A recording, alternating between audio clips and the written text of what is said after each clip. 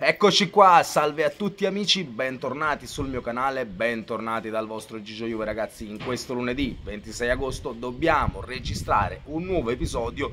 di un reato al giorno, parlando naturalmente sempre dei cartonati prescritti che come sapete non perdono occasione per delinquere e anche in questo caso ragazzi c'è una novità, una novità succosa di cui andremo a snocciolare il contenuto in questo video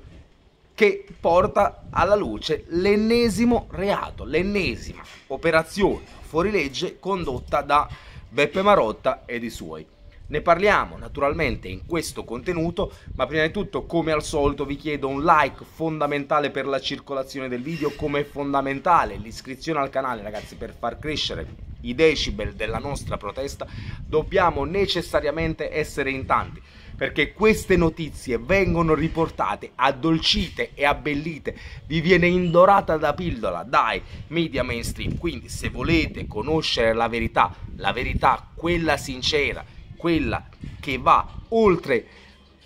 le maglie della cosiddetta censura mainstream, dovete likeare, iscrivervi e campanella delle notifiche per rimanere aggiornati in tempo reale su tutto ciò che andrò a produrre su questo canale.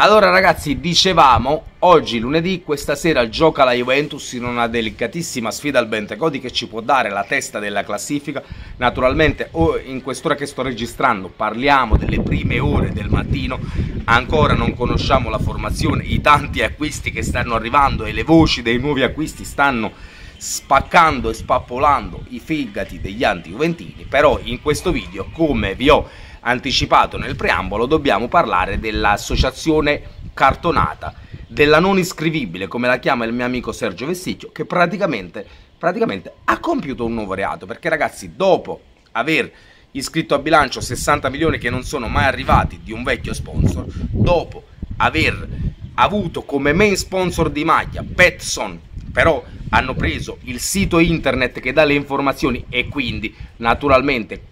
non va, diciamo, va ad aggirare la norma, no, fatta la legge,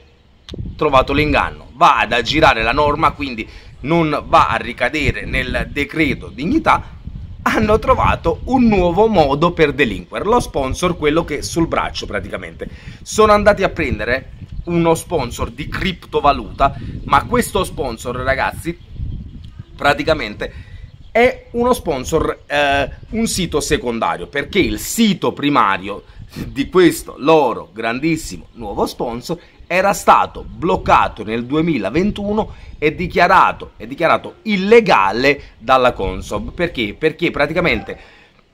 era eh, residente nelle isole Marshall e agiva sul territorio italiano senza poi avere nessuna delle necessarie autorizzazioni. E sappiamo ragazzi che è molto molto semplice, molto molto semplice che tra criminali ci si aiuta, quindi tra fuorilegge ci si viene incontro e ci si viene a contatto e quindi questa nuova agenzia che vi ho mostrato appunto diventa lo sponsor, di, eh, lo sponsor secondario dell'Inter ragazzi. Quindi dopo gli imbrogli ragazzi, dopo gli imbrogli, dopo il falso in bilancio, dopo il fallimento, dopo lo sponsor di maglia fittizio, dopo imbrogli di ogni genere ragazzi, il bilancio dell'Inter è praticamente una polveriera, noi, noi andiamo ragazzi, andiamo a registrare l'ennesimo episodio di un imbroglio clamoroso da parte dei cartonati.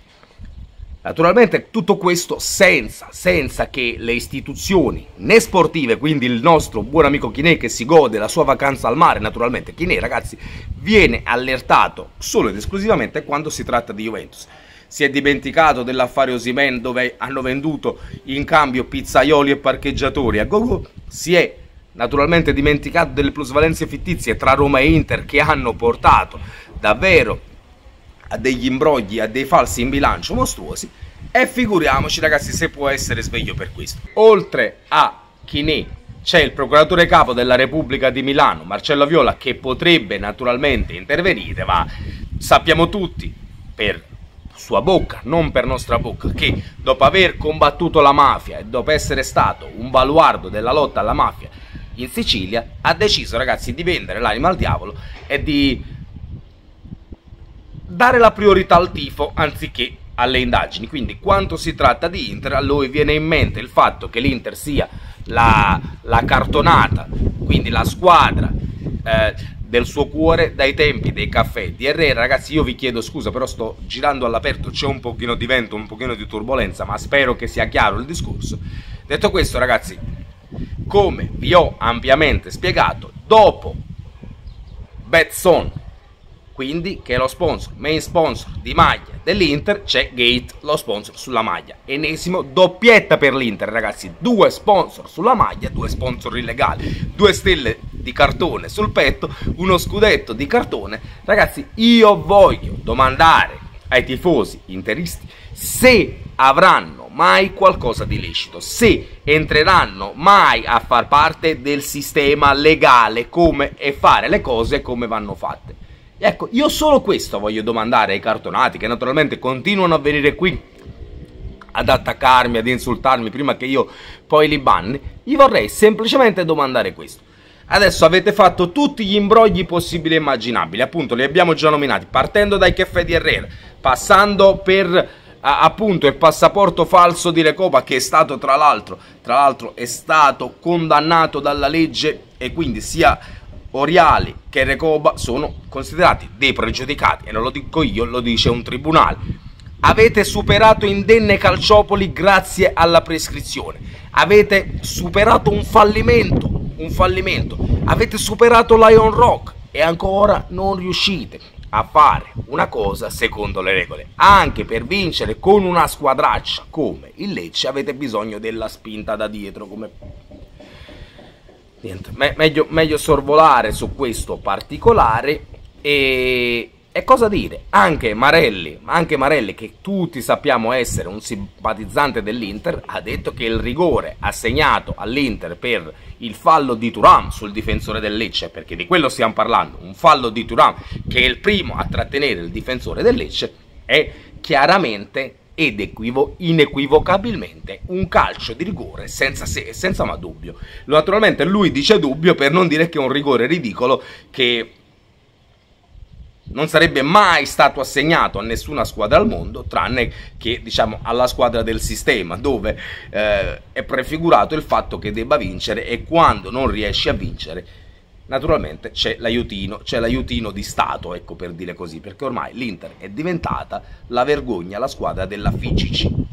Fatemi sapere cosa ne pensate nei commenti, massima condivisione di questo video, mi perdonerete se questo contenuto dura qualche secondo in meno ragazzi, ma registrando all'aperto davvero è quasi impossibile tenere un'inquadratura ferma e riuscire a fare meglio di quello che ho fatto oggi. Io vi ringrazio se, ave se avete avuto la pazienza di ascoltarmi nonostante le vicissitudini tecniche e fino alla fine, contro tutte e tutti, sempre e comunque. Forza Juventus e nel dubbio un bel intermerda che per cominciare la nuova settimana non guasta mai.